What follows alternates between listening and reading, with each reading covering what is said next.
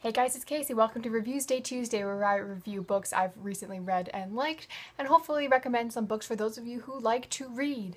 Today's pick is A Wrinkle in Time by Madeleine L'Engle. What I'm holding right now is the 50th anniversary edition, so it's a fairly old book, but it won the John Newbery Medal in 1962 for being a distinguished contribution to children's literature. This book wasn't what I was expecting at all. I was expecting a kid's book that kind of, you know, touched on time travel and fantasy, and what I got was so much more than that. This is a really good book if you're interested in science fiction, if you're interested in science at all, if you're interested in magic or witches, it's got all of that. The book starts off with Meg Murray and her, her family, who are totally normal people. Her father's been missing for a really long time, so the family's kind of in this state of limbo, waiting for him to get home or to hear from him. And the youngest child, Charles Wallace, um, everyone thinks he's stupid, but he's actually intelligent and and articulate, and he's kind of strange. And he brings home these friends who are kind of like witches. And these strange old ladies take three kids, Meg, Charles Wallace, and their neighbor Calvin, on an adventure to try and find Meg's father. But it's not your average adventure plus magic book because it uses science to explain the intricacies of things like time travel. It talks about the fifth dimension theory about folding space and time and uses logic and science to explain things like the Tesseract, which before this book I had never heard of outside of a Marvel movie. Because, of course, in the Thor movie franchise, the Tesseract is what bends time to open a doorway between two different points in space. So that's basically the premise of this book as well, is that there's this thing called the Tesseract and you can use it to bend time in order to change your location in time and space. This book was so cool I could not put it down.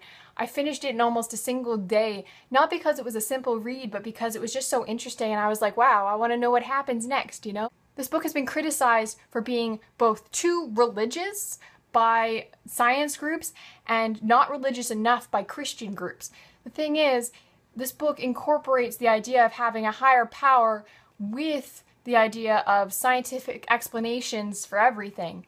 It is um, this wonderful contradiction of of faith and science and power, and it it's a story of good trumping evil and, and light versus dark, and the power of love and knowledge and understanding and it uses science in a way that I haven't really seen a kid's book use. It's as if it's explaining scientific concepts that are mostly um, very adult concepts in a way that children can understand them, not only by simplifying them, but for explaining them as though the reader, which it's, you know, aimed at ages 12 to 16, can understand highly complex topics without being patronizing or or talking down to them at all.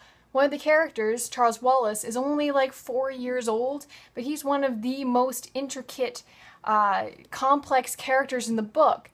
They use illustrations a couple of times to try and explain the concept of time travel and bending dimensions, and I don't know, it, it piqued my interest in a way that a book hasn't in a really long time, and I know I say that a lot, but this book was actually very engaging and very interesting because it merged um, scientific principles and magic in a way that uses science to explain magic in a way that was logical and interesting and believable so that I got sucked into the story. If you like books about good versus evil and children making hard decisions and witches and strange magical creatures and time travel and space travel and aliens, this is the book for you. It has this overall message against totalitarianism which, because it was written at the height of the Cold War, was obviously very controversial.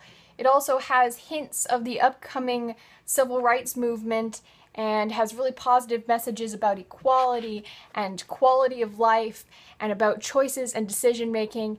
And I think it's a really important book for kids to read, actually. I wish I'd read this when I was 12 or 14 because it gave me a whole new perspective on um, not even like the science versus religion debate, which really I don't want to get into because it doesn't really matter when you're reading this whether or not you are have some kind of religious background or whether or not you believe solely in science or you're not sure. Like this book, it doesn't preach to you at all. There's no, you must believe one thing or the other kind of thing.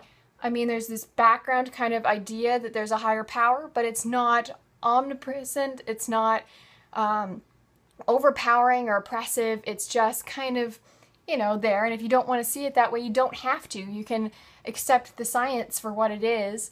And I found that really interesting, and I haven't seen that in a book. And I'm a huge science fiction nut, so usually I don't go for things that are like religion based. But this time travel book was super interesting, and I really want to read the rest of the books in the series because I love the characters and I love the concepts, and I, I want to know what happens next. The book was certainly well written, and I love the names of the characters and the places, and it all seemed very natural and organic, and it seemed the story seemed to grow um, fairly quickly because it's a short book, but it worked and it grew, and I kind of learned under got understanding from it the story kind of was a logical conclusion, and although it ended kind of fast, which I wasn't really happy of, I wish there'd been more explanation at the end. Um, I did really like it, and I think that this was wonderfully written and I don't know, just really good. So while this is a kid's book, I highly recommend that you read it because it's got all these really neat perspectives in it, and I just, I don't know, I liked it a lot. Wrinkle in Time by Madeleine L'Engle. It's L apostrophe E N G L E. L'Engle. Bye.